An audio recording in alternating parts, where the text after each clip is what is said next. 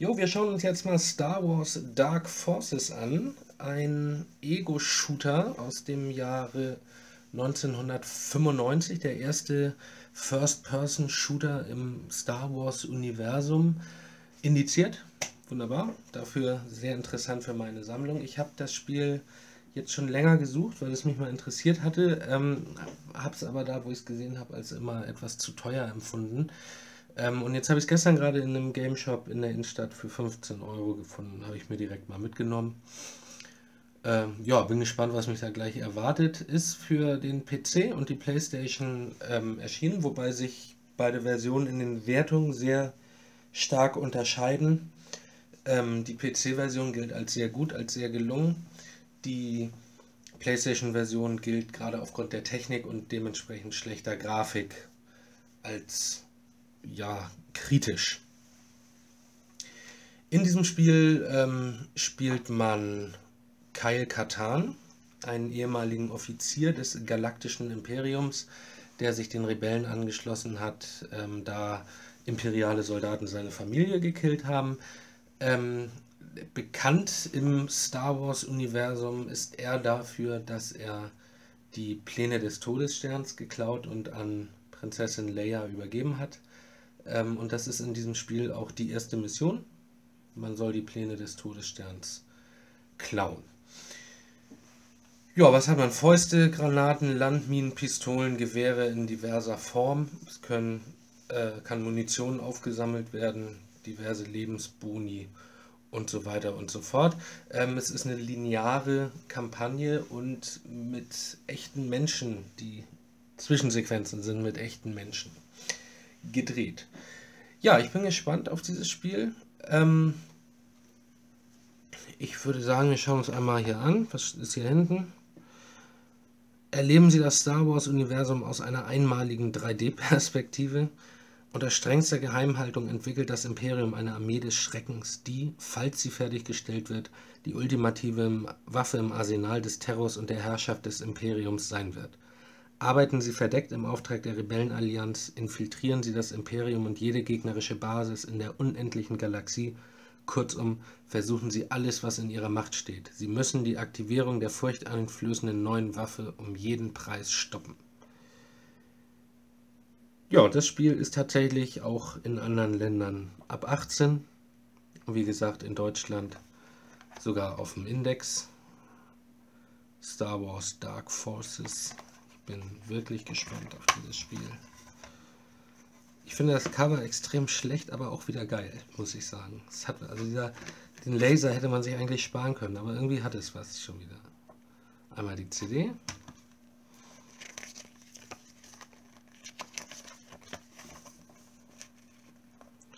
Bisschen Story. Recht viel. Viel Story. Programmstart. Passwort. Steuerung. Laufen. Wo ist Laufen? Mit R1 läuft man. Mit Viereck schießen. Schön.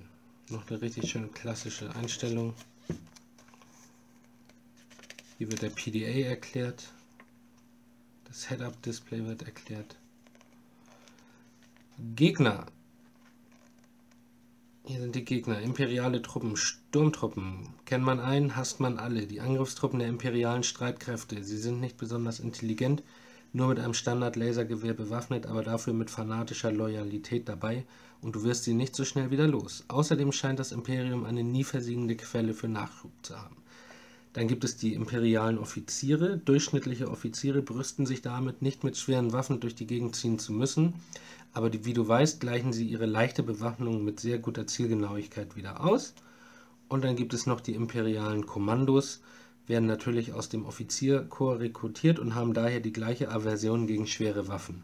Mit ihren Lasergewehren können sie weiter schießen als gewöhnliche Offiziere und das intensive Training erlaubt es ihnen auch, sich schneller zu bewegen. Dann gibt es automatische Systeme, Selbstschussanlagen, Überwachungssonden, Überwachungsdroiden und Remotes. Trandoshana unter den anderen Gegner Gran, Gamorianische Wache, Dianoga, Kanalbewohner und Boba Fett kommt drin vor.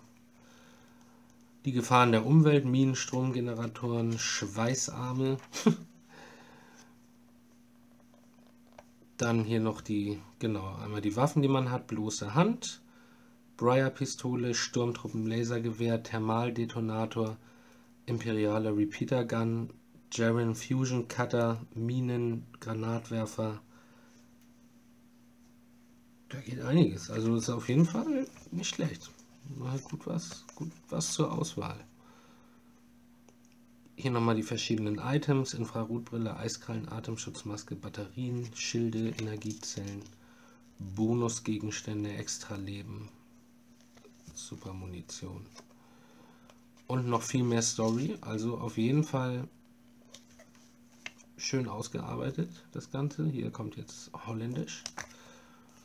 Ja, ich würde sagen, wir schauen uns das Ganze einfach mal an.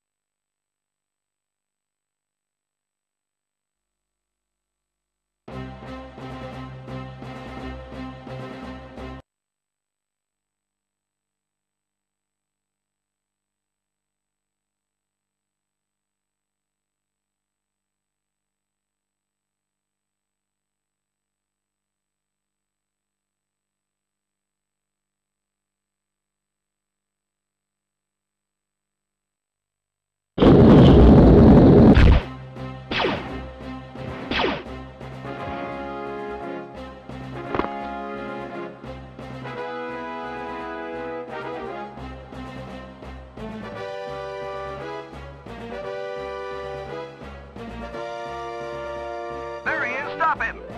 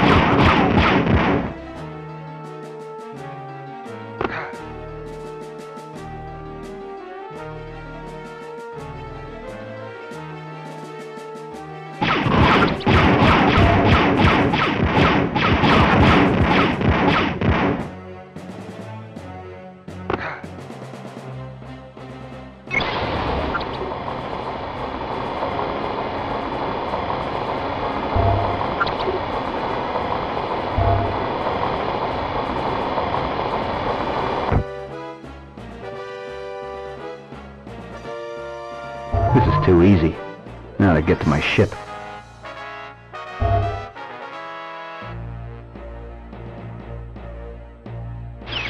Oh!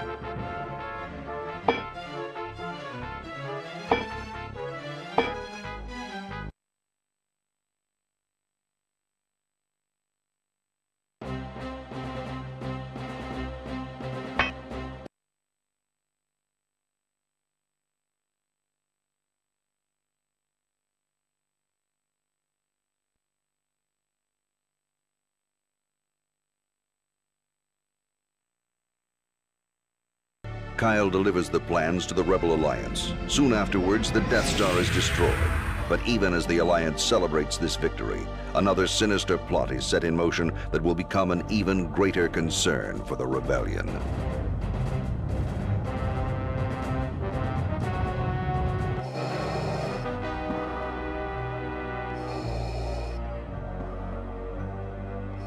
The Emperor has approved your test demonstration, General Mock. Thank you, Lord Vader. What I unveil today will mark a new era for the Empire. We will be able to decimate the rebels just as we did the Jedi Knights. At last, the Emperor's war will be filled only with the glory and beauty of decisive victory. A noble cause, General. I hope the demonstration lives up to your claims. Proceed. With pleasure. Dark Trooper, release.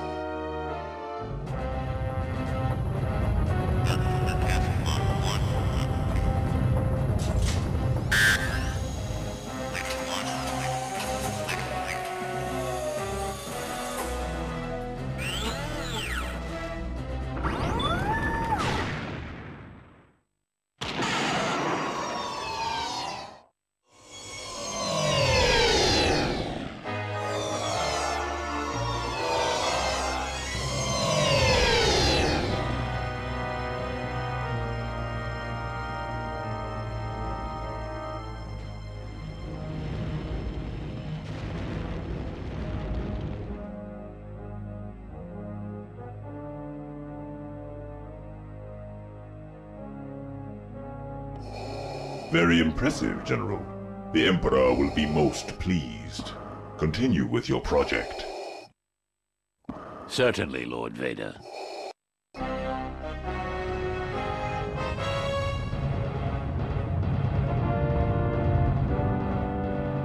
Thank you, Commander, for responding at such short notice. The Empire has been keeping us on the run since the destruction of the Death Star. Five days ago, the Empire attacked one of our secret bases in the city of Talay. This is TAC base to anybody out there. Please, we're under Imperial attack. There ever there was no warning at all. Total devastation. They moved to our shield. They moved to our shield!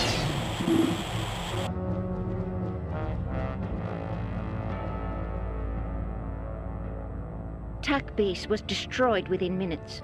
Many innocent people in the surrounding city, as well as the rebel staff, were killed. Intelligence thinks that this may be an act of retaliation for the destruction of the Death Star. Interesting. This looks like it could be a normal Imperial attack, except for those sounds. Very perceptive, Commander. I know you understand that all we discuss here is classified. This Imperial officer, Crix Medine, wishes to defect to the Alliance.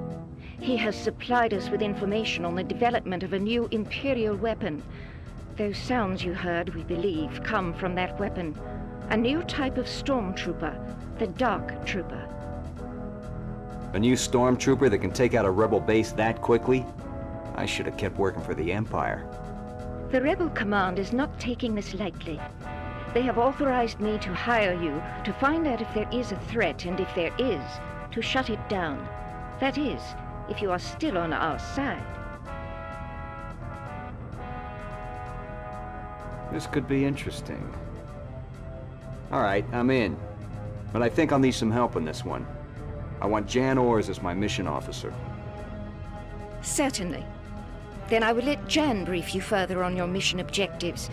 Thank you, Commander, and may the Force be with you.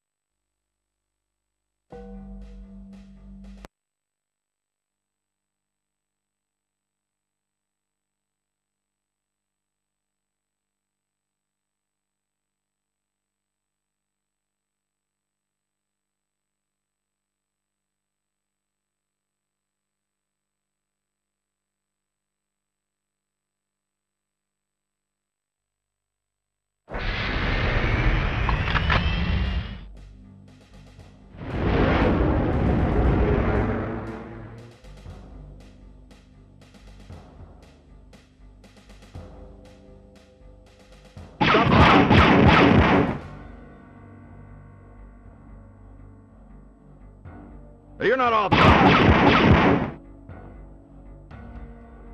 There he is, stop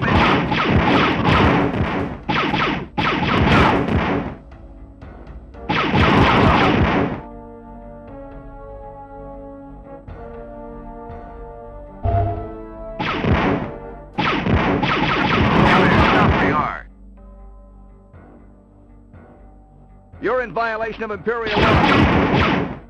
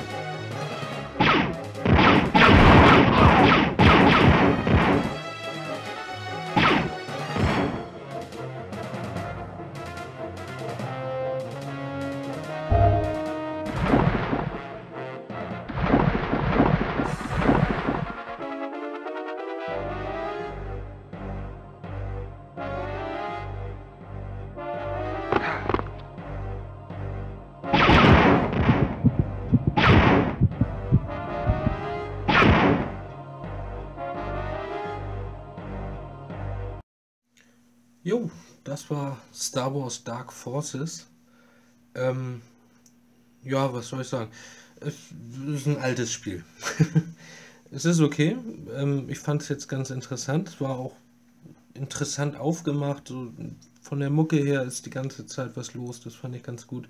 Die Waffen nicht schlecht, bisschen nervig vom Klang her. Und was tatsächlich stimmt, ähm, anhand der Grafik ist es wirklich extrem schwierig, irgendwas zu erkennen. Ähm, Gerade diese versteckten Wege in, in, in den Klippen, da, wo man dann erstmal vorbeiläuft, beziehungsweise die dann verschwinden, je genauer man guckt und so. Ja, ist nicht, nicht wirklich gut gealtert, das Spiel. Damals sicherlich eine ganz geile Sache. Ähm, auf jeden Fall aber ein Titel, den man im Regal stehen haben sollte. Und bei dem Stichwort machen wir gleich dann auch das nächste Spiel. Ein wirklich, wirklich sehr schönes Spiel. Und zwar Parasite Eve. Freue ich mich drauf. Ich wünsche noch einen schönen Abend.